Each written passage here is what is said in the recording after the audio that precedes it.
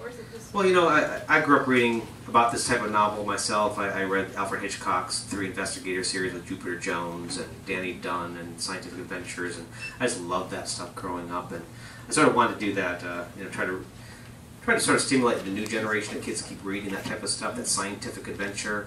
Um, you know, Harry Potter's got magic, and Twilight has vampires, and I just like want somebody that's a little bit of science in there. Some kid that's doesn't have no special powers. He's not magical. He's not. Uh, he's not a vampire. He can't live forever.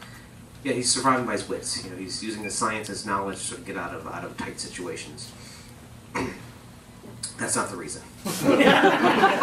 Sounded good though, didn't it? You're all falling for it, weren't you? I wrote it because I wanted to write about dinosaurs.